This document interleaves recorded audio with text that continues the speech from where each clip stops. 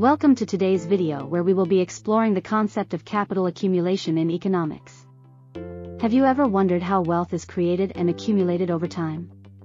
Well, in this video, we will dive deep into this fascinating topic and uncover the key principles behind capital accumulation. To understand capital accumulation, we first need to grasp the concept of saving. Saving refers to setting aside a portion of your income or resources for future use.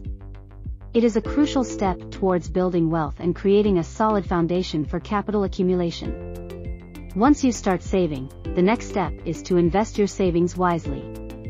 Investing involves putting your money into assets such as stocks, bonds, or real estate, with the expectation of generating a return or profit over time. This is a crucial component of capital accumulation as it allows your wealth to grow. As your investments generate returns, it's important to reinvest those earnings back into your portfolio. This process, known as compounding, allows your wealth to grow exponentially over time. The power of compounding is a key driver of capital accumulation.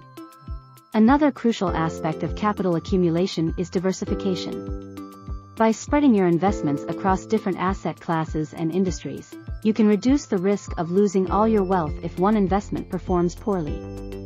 Diversification is like building a strong foundation for your wealth.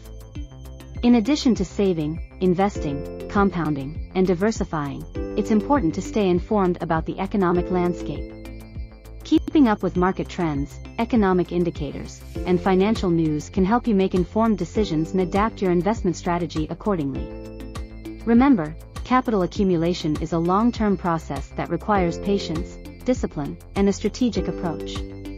By following these steps and making informed decisions, you can gradually build and grow your wealth over time, ultimately achieving